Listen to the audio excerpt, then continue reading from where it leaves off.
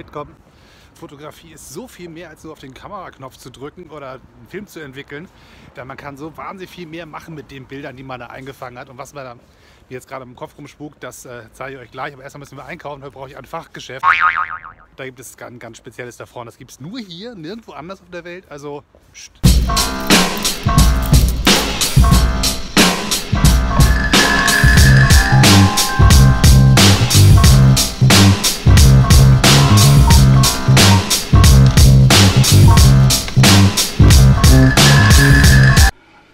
Funktioniert's? Funktioniert. Herzlich willkommen bei D18 Foto. Mein Name ist Dennis Ettin und heute wird wieder gebastelt. Wie ihr seht, hier gibt es tausend Sachen. Scheren, Pinsel, so eine komische Paste hier und Holz und Lappen und alles mögliche. Wir haben heute ein bisschen Bastelstunde. Ich hoffe, ihr habt ein bisschen Spaß dran, denn heute geht es darum, nicht mit der Kamera unterwegs zu sein, sondern mit den Bildern, die wir gemacht haben im Laufe des Jahres, im Winter was Schönes zu basteln. Das Thema für heute ist Papierbilder auf Holz transferieren. Das klingt ein bisschen kompliziert. Ich zeige euch mal, was ich meine. Es geht darum, ein Bild auf ein Stück Holz zu kriegen. Das ist relativ simpel, die Idee. Und im Prinzip ist das sozusagen auch handwerklich einfach gemacht.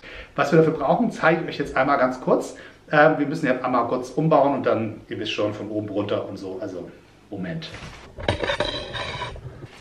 So, was wir brauchen, ist definitiv erstmal ein bisschen was Künstlerisches. Ein schönes Foto, was wir haben in Farbe, vielleicht auch was in Schwarz-Weiß. Den Kollegen hier kennt ihr. Das sind alles einfache Ausdrucke. Ich bin einfach in Copyshop marschiert mit einem USB-Stick, habe gesagt, hier sind ein paar Bilder drauf, druck mir die mal aus. Wichtig ist auf möglichst normalem Papier, so klassisches Druckerpapier, nichts Besonderes, kein Hochglanz, keine Pappe. Einfach nur mal ein bisschen über einen Laserdrucker schicken. Funktioniert übrigens auch mit einem Fotokopierer. Auch das geht gut. Ihr braucht halt irgendwas, was mit einem Toner arbeitet, in Farbe oder in Schwarz-Weiß, völlig egal. Mit diesen Bildern machen wir jetzt was. Die sollen transferiert werden auf ein neues Material, auf Holz. In diesem Fall hier habe ich so ein kleines Tablett gekauft. Und was wir noch brauchen, ist dieses Zeugs hier. Das nennt sich Porch, Fototransfer Porch. Das ist, ähm, manchmal steht da auch drauf Fototransfer Medium. Da habe ich noch ein bisschen Wachs, eine Schere, ein paar Pinsel und einen Schluck Wasser. Hm die alte Tasse. Die erste, die ich jemals hergestellt habe. Antik. Ich finde, sie ist ein bisschen schmucklos. Ne? Also ich, ich, finde, ich muss mal irgendwie überlegen, wie wir ein paar neue Tassen auf den Markt kriegen. Also das Ding ist irgendwie wirklich ein bisschen sehr hm, areal auf schwarzem Quadrat. So, als erstes müssen wir mal gucken, dass wir dieses Bild schön zuschneiden. Weiß sieht man am Ende auch, das heißt, der weiße Rand muss weg.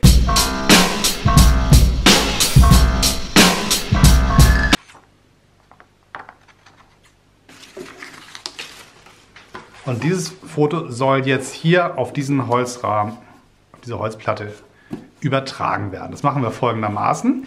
Wir nehmen das Papier und malen diese Fläche und die Holzfläche an mit diesem Matschepatsche-Zeugs hier. Am Schütteln, damit das alles hier schön gut gemischt ist. So, kommt jetzt so ein schöner Klecks drauf. Immer ein bisschen, kriegt man Schreck bei, seine Bilder so einzuklecksen mit dem Pinsel schön verstreichen.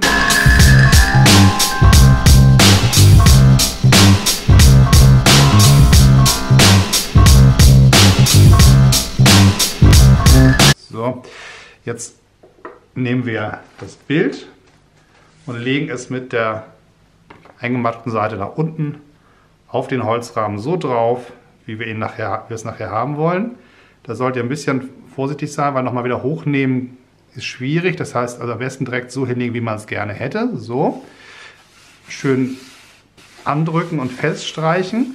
Und jetzt seht ihr, hier gibt es überall so ein paar Wellen. Das, das ist sozusagen Luftblasen drunter. Das einfachste ist, dass wir einfach das Ganze jetzt ein bisschen rausbürsten. Ich habe hier so einen trockenen Pinsel. Und dann machen wir so ein bisschen alles, alles glatt mit und versuchen die Luftblasen ein bisschen rauszukriegen. Und bei der Gelegenheit drücken wir das Papier auch schön gleichmäßig auf das Holz.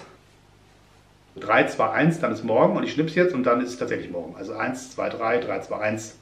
Ich hoffe, ihr habt gut geschlafen. Es ist der nächste Tag und dieses Ding hier ist schön durchgetrocknet. Das ist alles so, wie es sein soll. Und jetzt ist der nächste Schritt dran.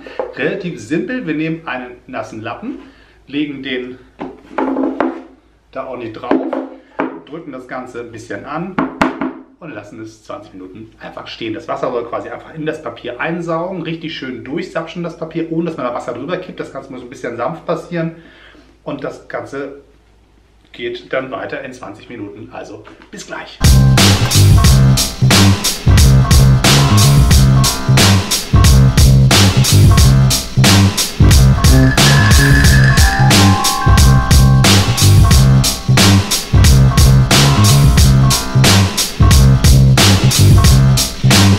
Die 20 Minuten sind rum. Wir können weitermachen. Dieses wunderbare Zeugs hier.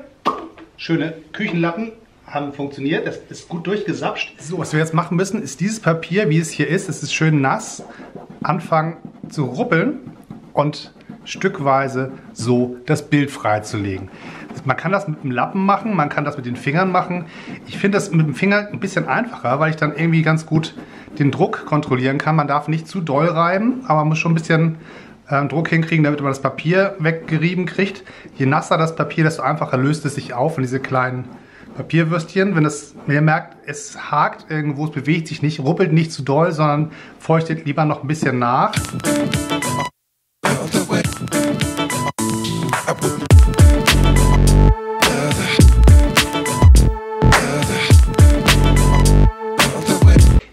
Bild hier wurde gemacht mit dieser schönen Holger. Dieses schöne Plastikteil hat also auch vorne Plastiklinse drin. Entsprechend sind die Bilder, die sie macht, nicht perfekt. Absolut nicht. Aber sie haben ganz tolle eigene Charakteristika.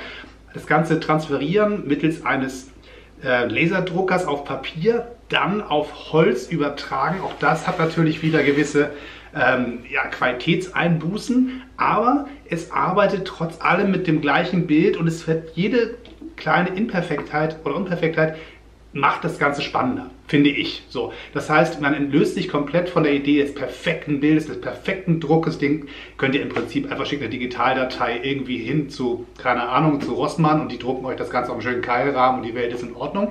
Das hier ist ein Prozess für Eigenwillige, die sagen, ich möchte noch mehr selber Hand anlegen und noch weiterarbeiten und ich habe keine Angst davor, wenn Dinge mal so ein bisschen aus dem Ruder laufen oder einfach sich eigenwillig entwickeln und einfach so ein bisschen das Abenteuer lieben beim Machen und der Kreativprozess sozusagen komplett in den eigenen Händen behalten werden soll. Ich will das Ganze versiegeln mit dem Zeugs hier.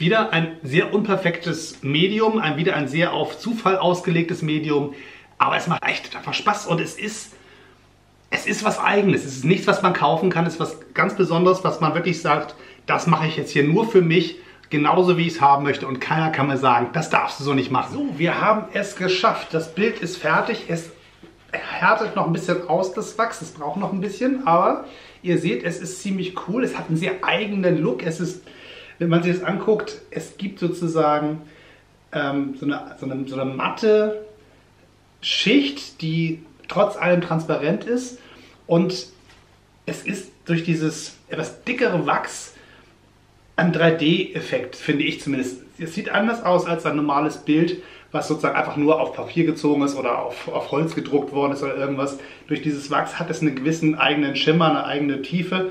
Ich finde es sehr spannend. Es ist ein unglaublich ähm, also ich habe beim Rübergießen mich schon ein bisschen trauen müssen, weil ich dachte, jetzt ist das alles hier schön ausgearbeitet und dann kippst du da jetzt Wachs drüber und es kann natürlich auch am Ende so sein, dass dieses Wachs ähm, das ganze Bild dann versaut. Ja, das kann schon passieren, aber ich finde, es ist sehr schön geworden. Es kommt definitiv hier bei mir in meine kleine Galerie.